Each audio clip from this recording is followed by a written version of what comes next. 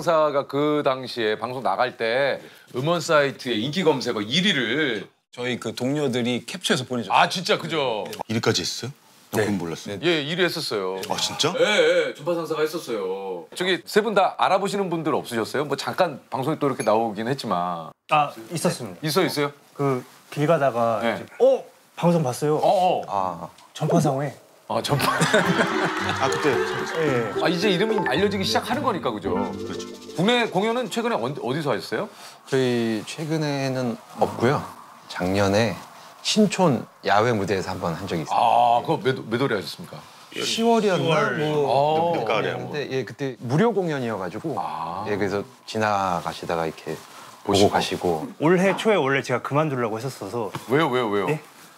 아 이게 공연 제안도 많이 안 오고. 아 이게 뭔가 활동이 내가 아무리 의지가 강해도 계속 또 일이 생겨야 제가 사실은 이제 지난번에 만나 뵙고 축제에 함께 할지 이제 고민 후에 얘기를 좀 드리겠다 얘기를 드렸는데 네네. 사실 이제 우리 그 정식으로 얘기를 드리자면 우리 놀머 축제 우리 전파 상사가 좀